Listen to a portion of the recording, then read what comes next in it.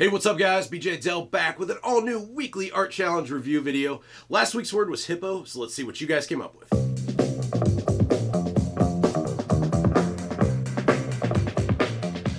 All right, guys, let's go ahead and jump into today's video all about the word hippo from last week's art challenge. And the first one up today is Peter. And Peter wrote in the Facebook group, Hi all, been watching for some weeks now with all of your posts and very inspiring, must say.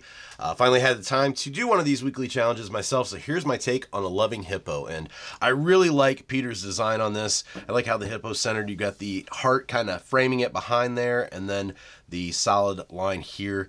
Uh, kind of makes for an interesting composition and kind of frames everything in really nicely. Uh, the thing that really stands out with this design, if you guys look at just the overall shape of the hippo, instead of going on uh, just a solid front view, you know, you've got this very kind of dynamic pose that the hippo's taking. So uh, when you you know start to do more character designs and stuff like that, uh, definitely kind of going and changing the feel, the pose, and making it as interesting as possible is really key to making, uh, you know, a compelling design. I think Peter did a great job of that. You can just kind of see how this kind of twists and turns here, and you've got this really strong kind of fluid line coming up behind here to give it a lot of motion and dynamics, and I think it's really well done. Coloring and uh, shadows are spot on too, and I just love the overall design. So thanks so much for joining in on these, Peter. Uh, like seeing your work this week.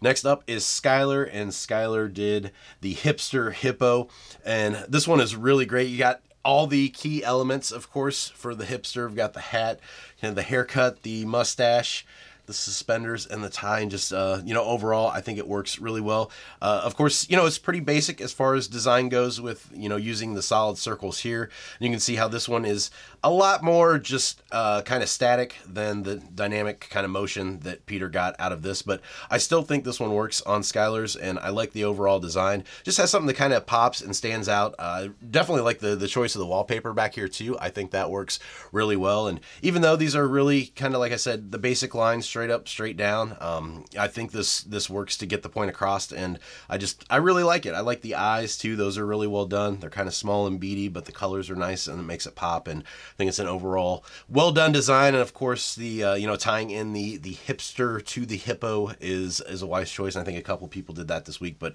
uh, this one kind of scored all the points as far as getting all the the key elements of the hipster in there. So great job, Skylar. Thanks for showing. Next up is Steve, and I've said before in the videos, you know, I, I don't necessarily pick the best ones every week. I don't pick the worst ones. I just pick something that stands out uh, to me that I can talk about and try not to pick you know the same people every week. And I know I featured Steve's last week in the Urban Legend Challenge with the the bunny rabbit.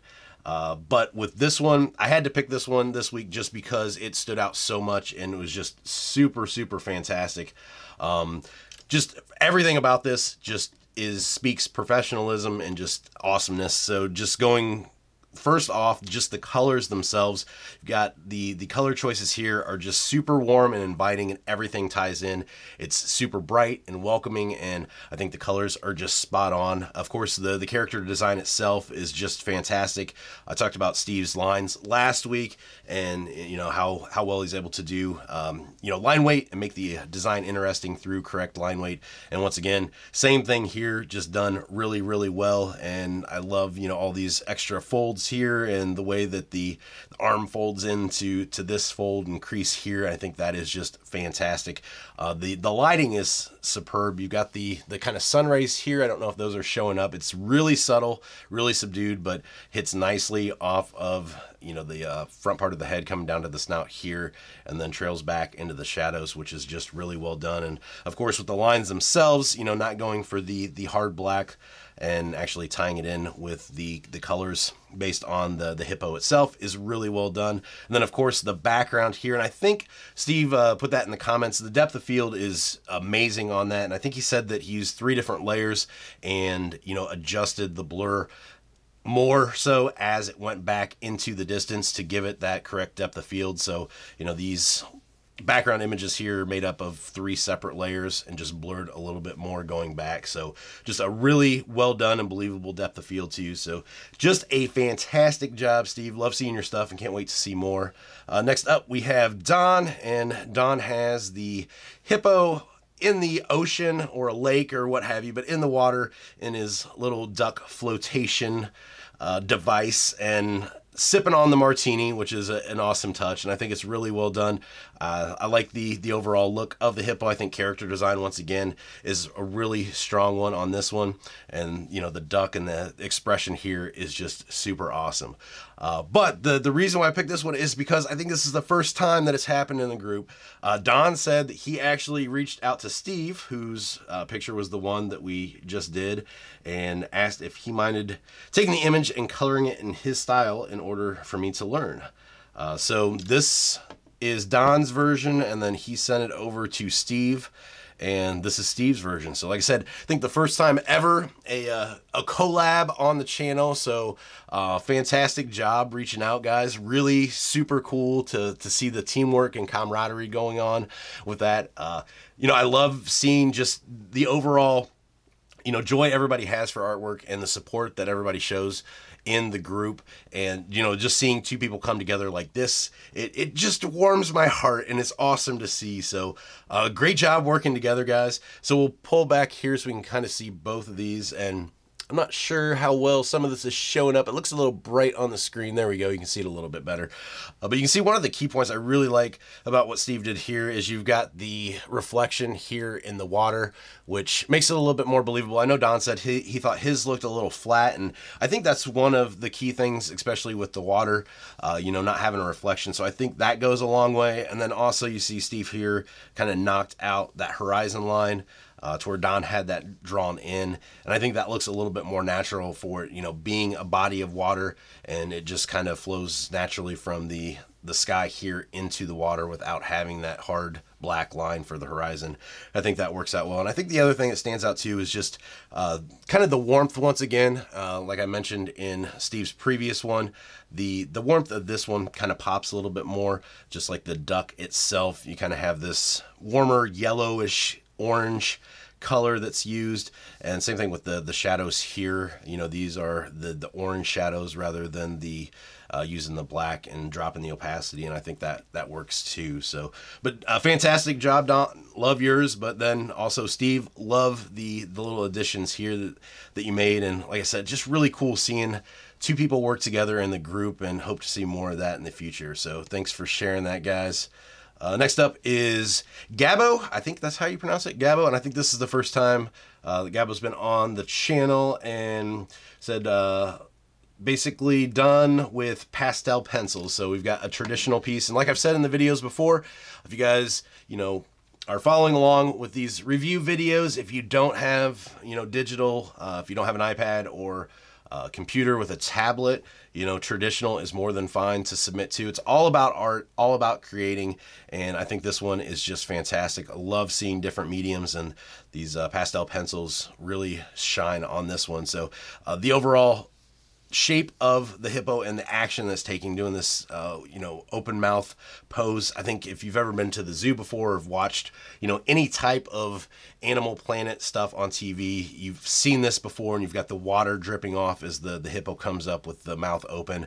And this one is just really good. A lot of action. Um, the the way that the water comes down here it kind of adds even more motion to the overall design. So i think that works really well. And i love how you know once you lay down a, a certain color being able to go back in with this white on top is just fantastic. Uh, the colors here too in the the hippo's face i love kind of the flow that these colors have. And it really makes it kind of you know a realistic uh, approach to to coloring and shading uh, from real world uh, you know colors with the way that these darker kind of brighter browns are in here. And it kind of builds up the overall shape of the face. And then of course coming back down here to this darker shadowed area. But I love this touch of blue up here with the kind of um, you know, tying it into the, the reflection of the water and the, the highlights and the, the overall just wet look is done really, really well. And then, of course, the shading here in the background I think is fantastic. It frames everything really nice. And I like to just the overall, you know, framing here that you took to uh, kind of keep it in the inside edges of the paper here. I think that is really cool. Uh, that was always something I loved to do when I was doing, um, you know, watercolors and the like was taping off the edges, painting on top, and then pulling that tape off just to have that really kind of perfect line that framed everything is a lot of fun. And uh, it's really kind of one of those rewarding experiences once you're done and, and gently pulling off that tape and seeing how everything is just framed so nice. So fantastic job, Gabo. Thanks for submitting that this week. Uh, next up is David, and David's got a cute little cartoon hippo. And thing that stands out with this, uh, I love I like the design. Once again, it's very basic with the the circle shapes, but I think it works. And thing that really stands out here is you've got a really nice texture build up for the the skin and I like the colors the best just because it has a very kind of realistic fade from one color to the darker that hippos actually have and the way that you did it here on the body and then also on the, the face here and the snout and then up by the eyes, I think is really well done. And it, it like I said, it has that kind of realistic uh, fade from one color to the next, but still maintaining, you know, the overall cute cartoon look is really, really nice. And then of course with the, the highlights here, uh, tying in with the overall colors, it just gives it that really shiny, I just climbed out of water, just that wet look that hippos are always have. And I think it's super well done. So thanks so much for sharing that this week, David. And last but not least, we have Julia and Julia said that uh, this is her first post here, so first weekly submission. Love seeing all of your talent and creativity. Been working on getting into a regular drawing habit. It's been a while since I painted illustrated, so I'm still experimenting with figuring out my style and refining my technical skills. And of course, that's one of the best ways, uh, you know, to, to build up your skills is practicing drawing every day, and then also, you know, finding your own style is key too. And that takes time. It takes practice. Um, it's going to take probably in most cases years before you get to a, a point where you say this is my style and you find something that you're comfortable with. So keep at it and develop that style and i think you're definitely on your way. I love this hippo submission the the overall textures used i think are really nice here you've got these kind of rough almost charcoal pencil type uh, lines here and then the way that everything fades up here in with the colors and like I said the buildup of the textures is really nice. Uh, drawing something from head on like this is super difficult when you've got you know a body behind and then the head and everything's the same color.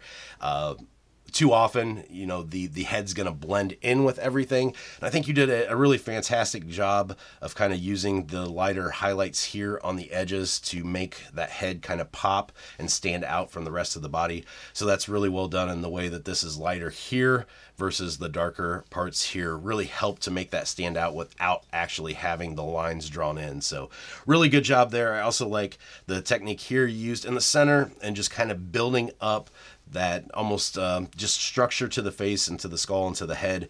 Uh, the colors here and the way that you blended everything really kind of builds up the, the framework for uh, the head and gives it a lot of three-dimensional shape, which I think is really good. And then, of course, the background too. I like that everything here is super in focus, and this is kind of blurry back here. Gives it a little bit more of a depth of field, and um, just makes an overall really nice design. It's not too busy and it puts the main focus on the hippo, which is the, the kind of center of attention. So that is it for the submissions this week for hippo.